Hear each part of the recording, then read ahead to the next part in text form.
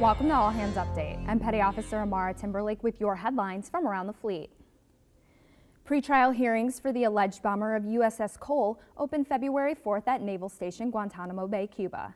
The charges stem from an attempted attack on USS The Sullivans in January 2000, the actual attack on USS Cole in October 2000, and an attack on the motor vessel Limburg, a civilian oil tanker, in 2002.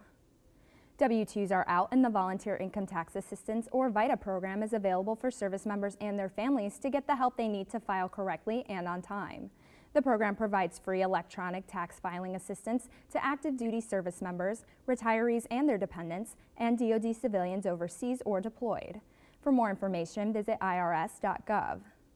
You can read more about these stories at Navy.mil. From All Hands Update, thanks for watching.